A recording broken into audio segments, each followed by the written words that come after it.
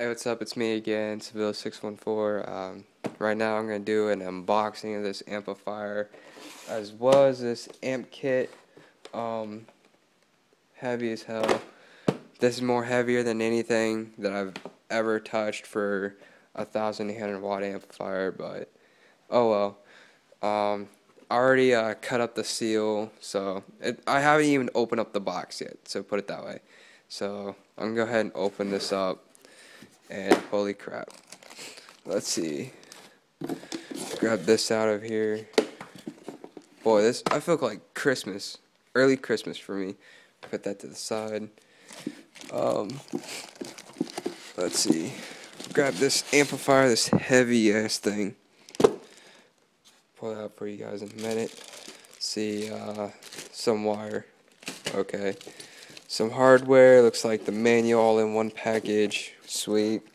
Oh wow, three Allen wrenches? Why? Okay. Um, that's the box, alright. But so I'm gonna close that real quick. And this will be in a separate video as well. I know, making three videos pointless, but um, might as well. Probably get more views that way for separate videos, but alright, let's check out this amplifier because this video is really mainly about this amplifier. And oh gosh, allergies. Sorry guys if you guys can hear me sniff. Like, sorry, it's just really bad over here where I live. Oh, I got, I think I'm gonna put this, oh, never mind. Okay. Okay, there's the amplifier. I mean, look. Like, look how big this thing is. I mean, I'm 5'11", dude. Holy crap. This is probably like as big as a um, Soundstream DTR uh, 1400. And I mean, like, literally, it's literally that small. Like, I don't have that amp currently, so I can't really show you guys. But um, I can show you guys a different amp, like a Sony 4-channel amp.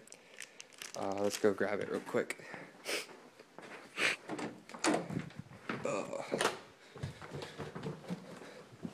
Let's run, run, run, run, run, run. Let's see. Uh, unhook this real quick. Just to compare it. Run, run, run, run, run. It's like, don't run. Bad idea. Alright. So, here's the amplifier itself It's the uh, old Sony 600 watt 4 channel. This thing, oh my gosh, I gotta tell you guys, it's smaller and it's fucking heavy. Holy shit.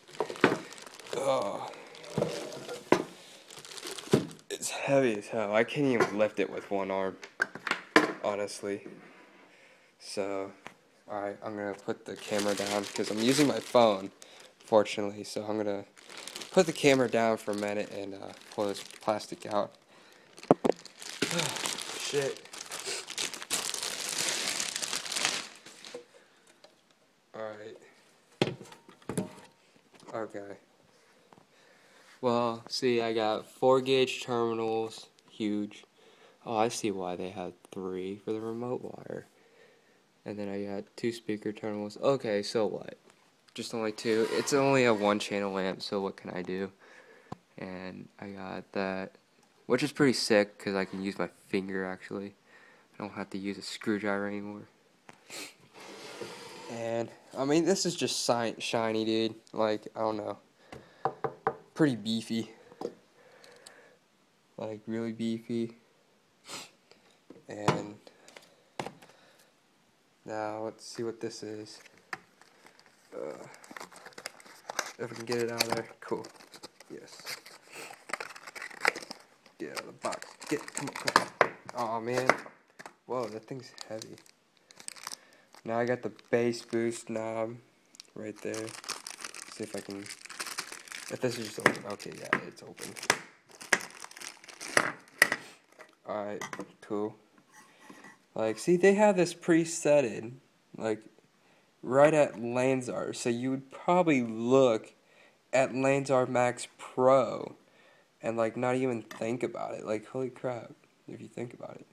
But I'm gonna keep that in mind where it's at so I can like actually see before I tune it like where it's set to and everything and how it sounds. But right now I want to put it at the middle and then later on I'm gonna put it in Lanzar Max Pro at the their logo and see how it sounds. But it's pretty awesome that it comes with a bass for note knob. But yeah, anyways, I'm gonna cut this video off. It's five minutes, holy crap, and um, we'll see from there.